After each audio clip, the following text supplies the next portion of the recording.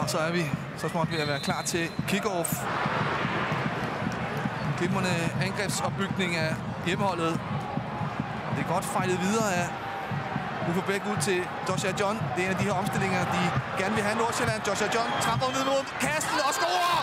Joshua John i sin comeback-kamp. Uffe Bæk lige ved at miste berøringen på, på midten af banen og få sat det op og få egentlig ikke sat det godt nok op for, for Joshua John. Har stadigvæk masser af arbejde at gøre. Joshua John.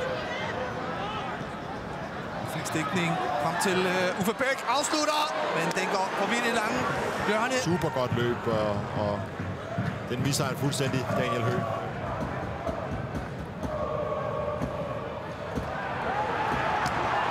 Uffe Bæk stiller bolden fra Aris Gulason.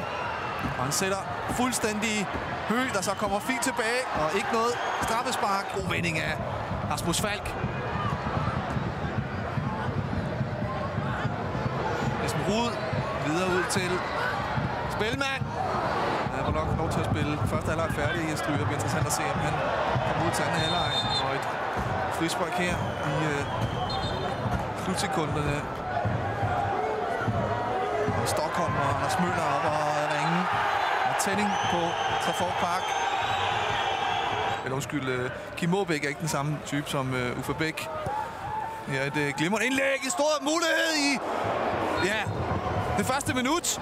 Fremragende sat op.